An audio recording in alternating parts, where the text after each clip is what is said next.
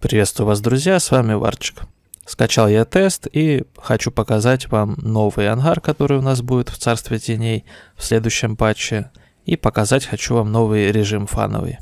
Мне, в принципе, все понравилось, как все выглядит, как все озвучено. В ангаре прикольно этот дед что-то там бегает, бухтит. Выглядит тоже все прикольно. Карта переработана неплохо, атмосферно, красиво все выглядит. Я думал, переработок вообще почти не будет. Будет чисто Ctrl-C, Ctrl-V. Да, основа режима такая же, но выглядит по-новому, по-свежему. Мне понравилось. Не знаю, что там некоторые бухтят. Такое ощущение, что вы от нового режима ждете прям полноценную новую игру. Также, когда я еще зашел на тест, меня ждало приветственное окно, где меня поздравили и наградили за 10 лет в строю. Показали новый танчик ВК-3601H. Также показали 10 жетонов за 10 лет. Показали награды, которые я в прошлом видео рассказывал. Также еще появился магазин жетонов, где можно выбрать боновое оборудование, 2D и 3D стили и различные другие награды. Также в магазине еще появились лутбоксы. Видим, что они улучшенные по сравнению с теми лутбоксами, которые были на день рождения мира танков. Одна коробка стоит 400 золота, 5 коробок 2000 золота, а 20 коробок 8000 золота и 2 в подарок. В подарок раньше ничего не давали, а тут вот невероятное событие. Что, собственно говоря, в этих коробках есть? 2D стили, 3D стили, члены экипажа, там серебро, Днепрема, Свободка, резервики. В общем, все как обычно. И аж целых полтора процента шанс, что выпадет прем-танк 8 уровня. Леший, Карачун, Кировец 1, КВ-4 КТТС, СТРВ-81, К2 и Гансала.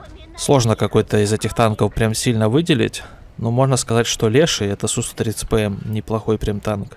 Карачун очень сильно на любителя. Кировец 1 тоже, КВ-4 КТТС тоже. СТРВ-81, наверное, скорее даже слабенький танчик, выделить там особо нечего.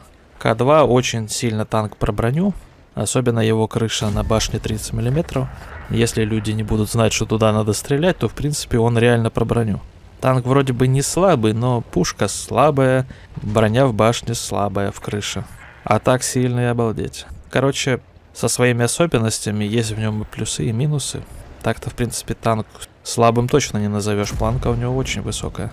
Ну и Гансала это здоровая версия танка Колывана. Без барабана и пушка более приятная. А так, в принципе, это копия. По сути, что-то интересное тут есть. Не знаю, это окончательная версия примтанков в этих коробках или нет. Это все-таки тест, что-то может поменяться. Ну, Гансала бы, в принципе, хотелось получить. Если у вас нету Су-130ПМ, ну, Леший тоже пойдет. К2, ну, наверное, да. А вот все остальное мне лично не особо зашло. Только вот эти три танка, это лично на мой вкус, более-менее. Ну а у меня в ангаре есть танки куда более имбовые и сильные, поэтому в принципе на любителя. Также если вам долго не выпадал прем-танк, то каждая 70-я коробка точно будет содержать прем-танк 8 уровня. И будет выпадать именно тот, которого у вас еще нет в ангаре.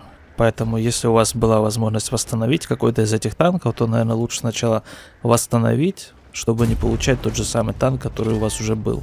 Также ничего не написано про компенсацию, если выпадет все-таки танк, который у вас уже есть. Обычно, по идее, компенсация в виде золота. Теперь поговорим еще про другие новости. В клиенте игры запустилось уведомление игроков про празднование дня рождения в игре. То есть это празднование годовщины ваших игровых аккаунтов, и за это выдают подарки. 7 дней танкового прем-аккаунта, 2D стиль всегда готов. 3 экспериментальных оборудования, 9 личных резервов. Купон, который добавляет 3 дня танкового прем-аккаунта и 3 личных резерва при любой покупке в прем-магазине на сумму 550 рубасов или 19 белорусских рублей и более. Также в день регистрации аккаунта вам станет доступна специальная цепочка боевых задач с отличными наградами, среди которых 500 золота, 3 дня танкового прем-аккаунта и еще 3 экспериментальных оборудования, а также декали и инструкции. Все вот эти вот купоны, задания и так далее, они будут доступны вам 7 дней со дня годовщины вашего аккаунта. Так что вспоминайте, когда вы там свой аккаунт создали. В достижениях это можно посмотреть. Когда заходишь в игру, нажимаешь кнопку достижения и в самом низу, на самой первой странице, которая открылась, написано, когда вы создали свой аккаунт. У меня, допустим, 2 ноября 2013 года. То есть, грубо говоря, через месяц у меня годовщина аккаунта. По поводу розыгрыша золота, который у меня проходит в видосах. На этот месяц я вам 60 тысяч золота раздал, все. ждем следующий месяц, который будет уже буквально через день. Это все новости, которые я хотел вам рассказать. Всем удачного дня, подписывайтесь, ставьте лайки, играйте красиво. Всем пока.